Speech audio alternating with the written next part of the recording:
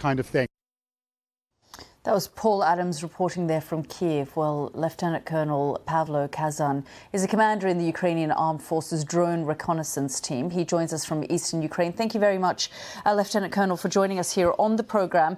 Just tell us a, a little bit more about these um, Iranian made uh, so called kamikaze drones. What do you know about them?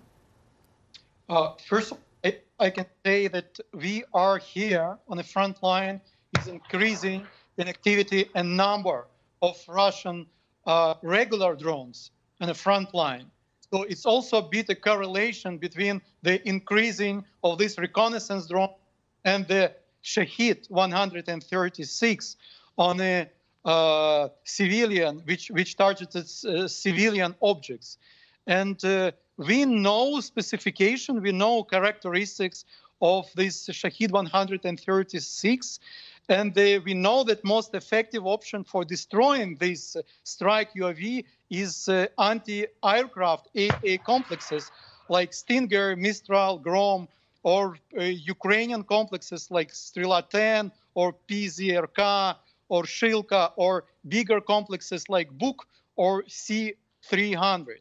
And uh, the bigger problem that uh, here we are on the front line, we wear it with helmets and uh, bulletproof uh, vests and so on. We are prepared because we are now here on the first line working with artillery, with uh, artillery fire correction. We know what is it, but the problem is that we have this terrible news from uh, from uh, peaceful territories, from well, well, Kiev, no, Dnipro, Odessa. Yeah, I, I, mean, not just peaceful territories, but but residential areas in in, in the capital uh, uh as well. I mean, you say you say you you know the equipment needed to take these drones out, but but it, it must be incredibly worrying for the residents of uh, some of these areas because they don't have these tools and they wouldn't know how to use this equipment. I mean, they're very noisy, aren't they? When, when you know people know that they're coming.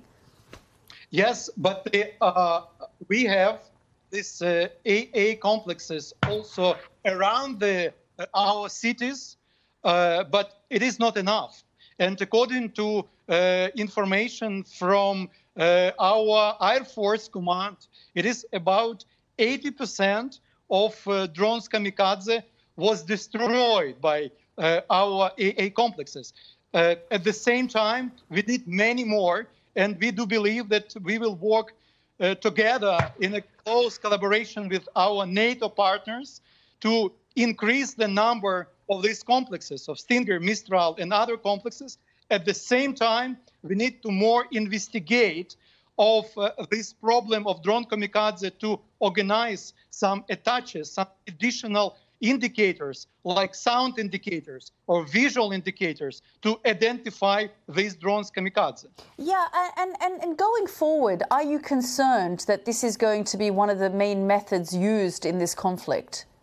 Uh, yes, indeed, because I can say that the effective distribution uh, uh, of uh, destruction of our artillery, of enemy ammunition warehouses and their artillery, and the problem uh, with uh, Russian uh, gun barrels and also complication to use manned aircraft can lead to significant increase in the activity of these uh, Iranian-made strike drones. That is why we should be well prepared because they are switching from artillery, from missiles to drone kamikazes. Do, do you feel you are well prepared?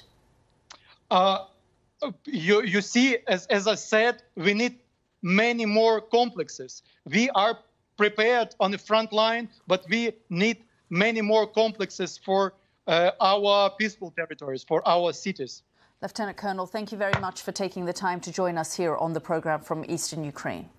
Thank you very much indeed.